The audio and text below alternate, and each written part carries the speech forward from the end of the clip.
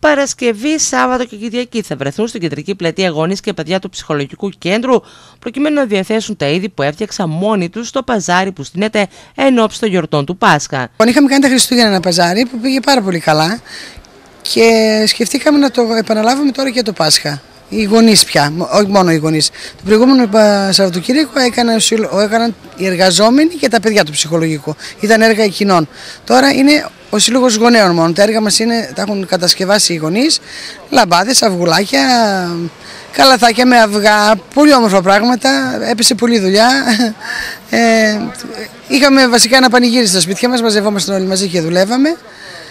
Ελπίζω και περιμένω να έρθει όλος ο κόσμος να μας ενισχύσει. Τη δουλειά αυτή την κάνουμε πιο πολύ για να κάνουμε γνωστή την παρουσία μας στην Ξάνθη, όχι τόσο για το κέρδος που λέμε, παρά το να φανούμε ότι προσπαθούμε κι εμείς για το καλό του ψυχολογικό.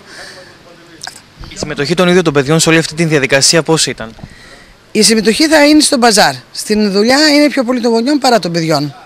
Τα παιδιά δουλεύουν πάνω στο ψυχολογικό, στο σπίτι όχι. Στο σπίτι μαζευόμαστε γονείς. Θα φτιάξαμε. Το πρόβλημα μας είναι ότι δεν έχουμε κάποιο χώρο να συγκεντρωνόμαστε γονείς και αναγκαστικά μαζευόμαστε σε κάποιο σπίτι. Αλλά γίνεται ένα πανηγυράκι κάθε φορά, περνάμε ωραία. Λοιπόν, ε, από αυτό το Σαββατοκύριακο στην κεντρική πλατεία. Λοιπόν, θα, γίνει, θα αρχίσει την Παρασκευή το μεσημέρι, θα στρώσουμε το σπιτάκι και θα πάει Σάββατο και Κυριακή, ανάλογα βέβαια με, την, με τα προϊόντα που θα έχουμε και πώς θα πάνε.